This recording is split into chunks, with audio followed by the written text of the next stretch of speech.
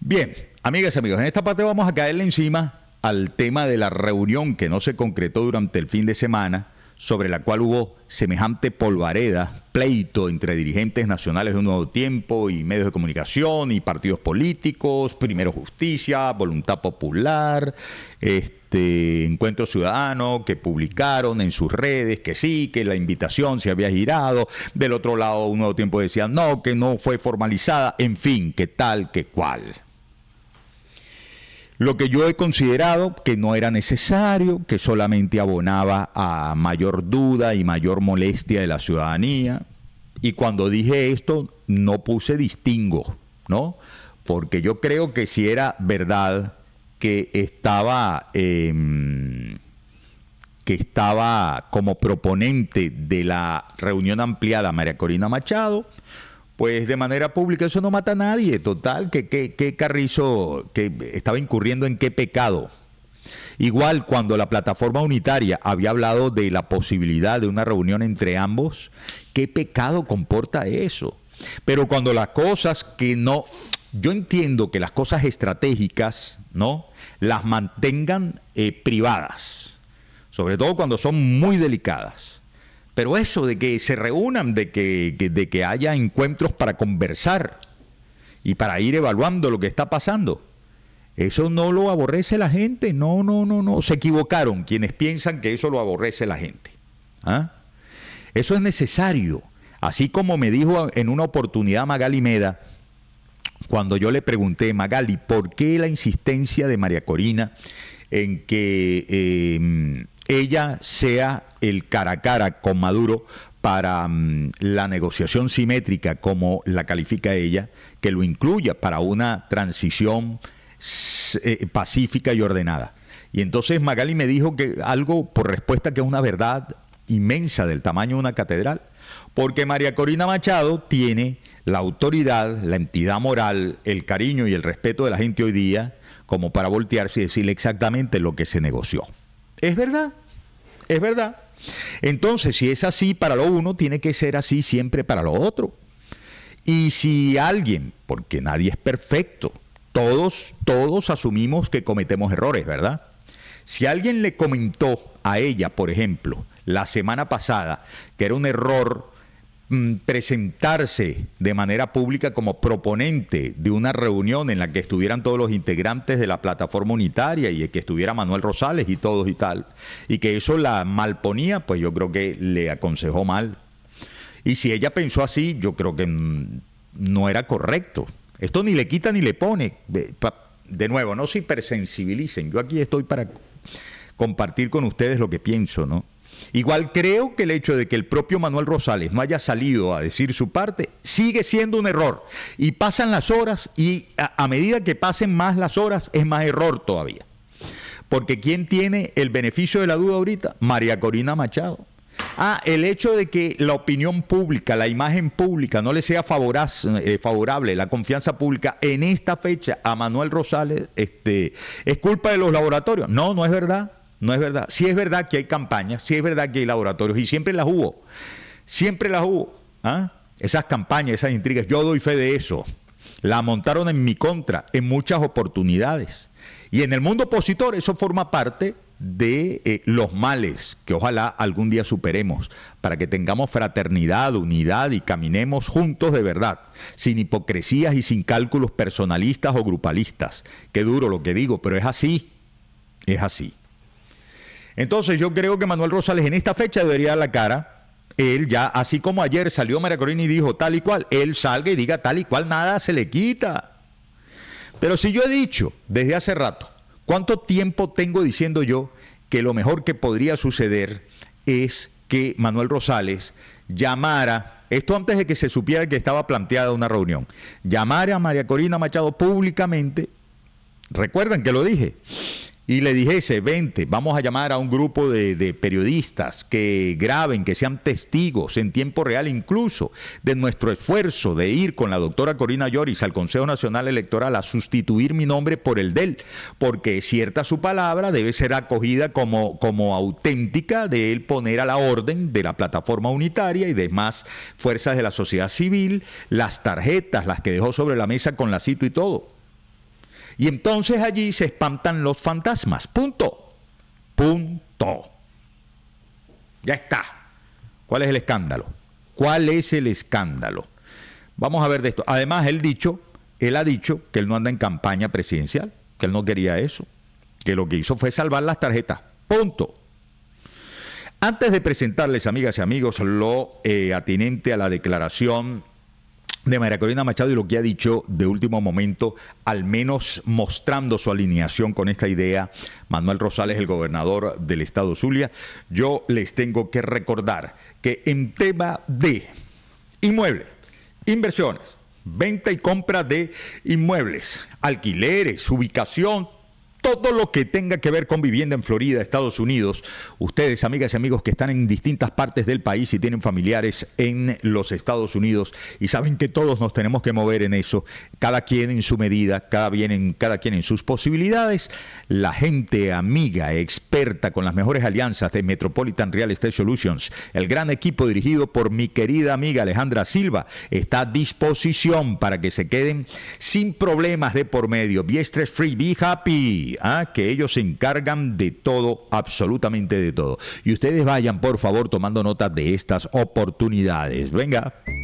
Ya sabes que tenemos lo mejor de Orlando. También sabes que somos totalmente stress free. Y lo mejor, somos servicio. Ya sea que quieras comprar, vender o administrar tu propiedad con claridad y sin complicaciones, Metropolitan es solución. Porque nos enfocamos en ti y en tu bienestar. Cuidamos tu inversión. Metropolitan Real Estate Solutions.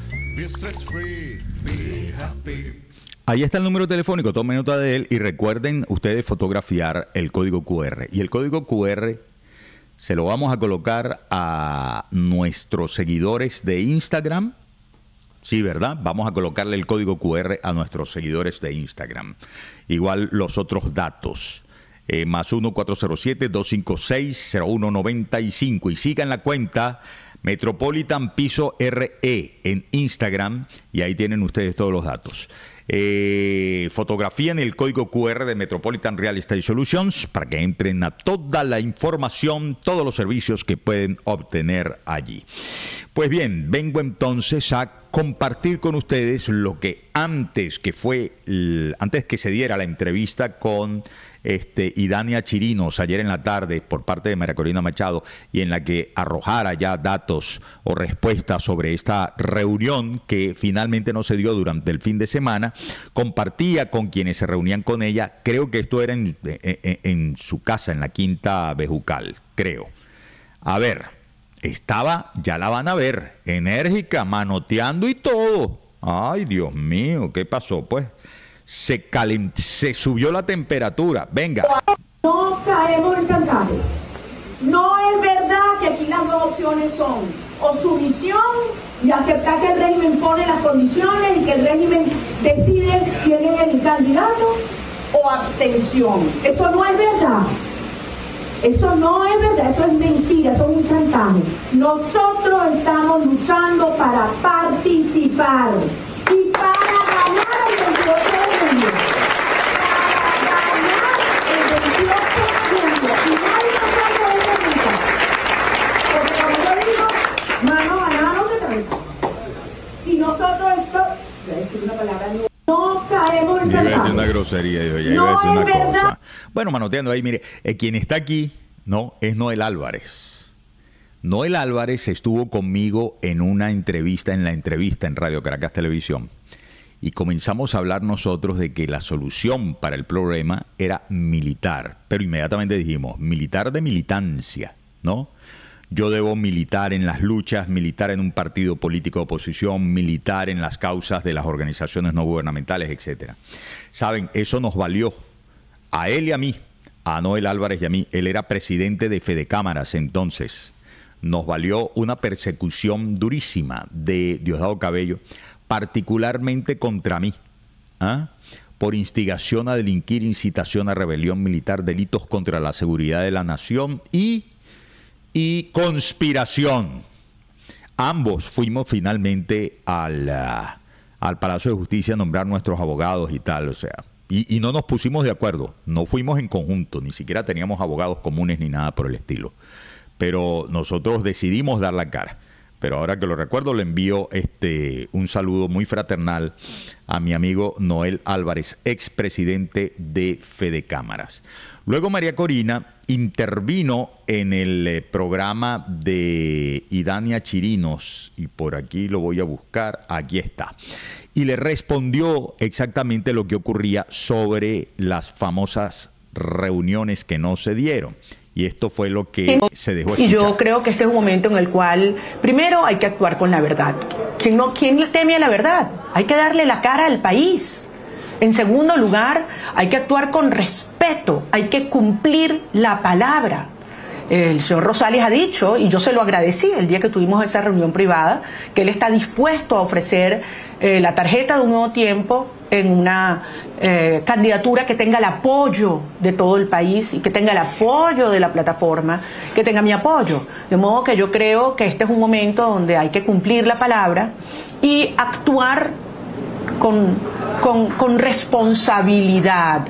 El acuerdo de Barbados y las primarias establecieron y tenían sentido en tanto en cuanto que pudiéramos buscar unas elecciones limpias y libres en las cuales los venezolanos pudiesen elegir el candidato y el líder en quien confían para que los represente. Si ese candidato y ese liderazgo se desecha y es Nicolás Maduro el que elige el candidato, entonces ¿para qué sirvió el acuerdo de Barbados? Fue un gran fracaso. ¿Para qué sirvieron las primarias? Fue un gran engaño. Entonces es inconcebible que sea Nicolás Maduro quien elija el candidato que lo va a enfrentar en las próximas elecciones presidenciales. De hecho, es justo recordar, para equilibrar las cargas y no se persensibilicen eh, los amigos donde quiera que se encuentren en sus simpatías hablando, ¿no? Este, que después de la primera eh, reunión entre María Corina Machado y Manuel Rosales, ciertamente tanto se cumplió la palabra que la propia María Corina Machado habló que se había logrado una alianza perfecta con la tarjeta Un Nuevo Tiempo para la inscripción de la doctora Corina Lloris. Ahora, este, luego el día 25, fatídico día 25 de marzo, no fue posible la inscripción de Corina Lloris. Y este, las cosas quedaron allí en suspenso, ¿no? Te dejo las tarjetas sobre la mesa con la cito y todo. Ande, busquen ustedes. Pero por cierto, ahí, eh, este, ¿qué pasó? Están llamando. Ah, ok. Allí, este mm, se... allí pasó un asunto, digamos, que no hay que pasar por debajo de la mesa. Y es que dijo Manuel Rosales, pero se encargan ustedes de negociar eso. Pues yo ya hice lo que tenía que hacer. Yo me voy para, para, me voy para, para Maracaibo a seguir gobernando. Total que se armó la zampablera el fin de semana, que sí, que no, que tal, que cual. Se los pongo clarito. Había, dijo el doctor, vamos a escucharlo a él, a, Omar Barbosa, que es el secretario ejecutivo de la, mm, de la mesa, de la plataforma unitaria. Esta fue la explicación que dio. Venga, eh, escúchenlo. ¿Es bueno para reunirse o...? tiene que ver, visto bueno, si ahí se, hay la iniciativa de que se reúnan dos personas, tienen que ponerse de acuerdo esas dos personas y luego la plataforma los invita. Estamos esperando que se pongan de acuerdo, si se reúnen ellos dos solos o, van a la plataforma y nosotros luego facilitamos lo que se decide. Se había dicho que supuestamente María Corina quería que fueran todos, que se reunieran no solamente... Por eso hay esas propuestas. Fue la primera propuesta que fue la que aprobó la plataforma, de que se reunieran los dos y después surgió la segunda propuesta de que fueran ellos dos más la plataforma. Esa segunda propuesta no se ha acordado. Y por eso estamos donde estamos. Y repito, lamento pero hubo una, una... ese tema mientras en vez de conversarlo entre nosotros mientras buscamos pero hubo alguien que haya suspendido la reunión es decir Manuel Rosales la suspendió. nunca se ha convocado. Esa reunión nunca se ha convocado por la plataforma porque si se promueve la reunión entre dos personas con la plataforma, primero tienen que estar de acuerdo esas dos personas y después la plataforma la convoca. Entonces esa reunión nunca fue convocada por la plataforma porque falta el acuerdo, que creo que se va a producir, no sé si entre todos o se reúnen los dos o los dos van a la plataforma, eso debe producirse en cualquier momento. Lo que repito, y les pido a ustedes que nos ayuden, es que son temas internos de trámite normales, en unas conversaciones, en una negociación, que cuando se llevan a la opinión pública, en vez de transmitir tranquilidad, lo que transmiten es más desasosiego la gente que está esperando Ahora, que queda- busquemos una solución. Lo que pasa es que al doctor Barbosa, con todo cariño, hay que decirle que es que no es un trámite ordinario, ¿no? La gente sabe que no se puede ni ver. Por eso la gente no está esperando que es que se, se- se- Manuel Rosales y María Corina Machado se vean, eh, se amen los unos a los otros, como mandó nuestro Señor Jesucristo. eh, se, se declaren eh, simpatías. No, no, no, no, no. no. No, no. Es eh, sentarse a conversar, punto. Ya está. Porque es que por encima de todas estas cosas está las está el derecho de la gente a ser informada. No, no, no se puede incurrir en un vacío sabiendo la gente que hay, eh, que se está consumiendo el tiempo, que están las brujas del lado de la dictadura eh, contaminando el ambiente y ejerciendo vocerías que no las hay del lado opositor sin que haya una orientación, ¿no? De lo que realmente ocurre. Hay que apagar allá. Este.